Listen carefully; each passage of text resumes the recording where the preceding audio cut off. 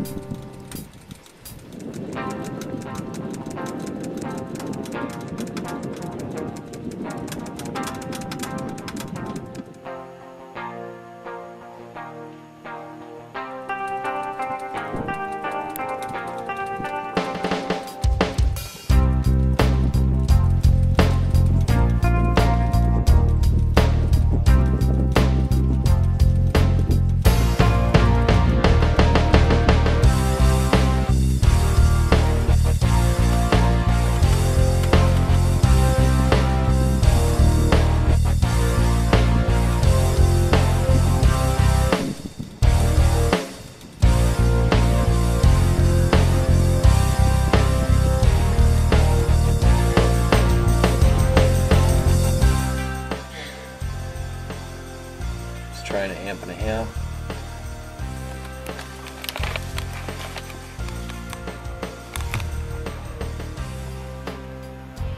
Tie inverter, the AC from the wind turbine comes in here, goes through the stop switch. I'll show you what the turbine does when I flip it. It's off. Into the uh, limiter rectifier circuit. And then we take it through a fuse. and Run it into the grid tie inverter. Winds are good today, so we'll see what kind of power we can get through this. And then once it senses it's got enough power, it'll try and stabilize that voltage.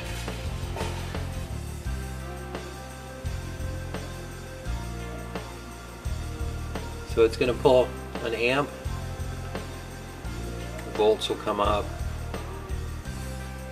and it'll retest and it'll pull more amperage if it can. That's usually when it stalls the turbine. So it's still pulling an amp and a half, amp and three quarters. So it's set there. So if you get some wind before it kicks out, it'll hold, otherwise it's got to look again. Yeah, amperage is drawing. Down.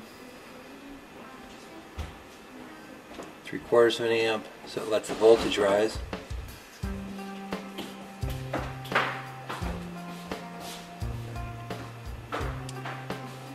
This limiter circuit here won't allow the voltage to go over 20 and a half.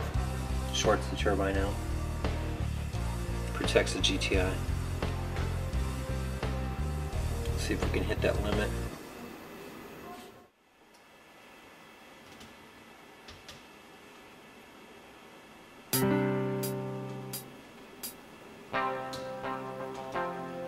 Let's hit the limiter.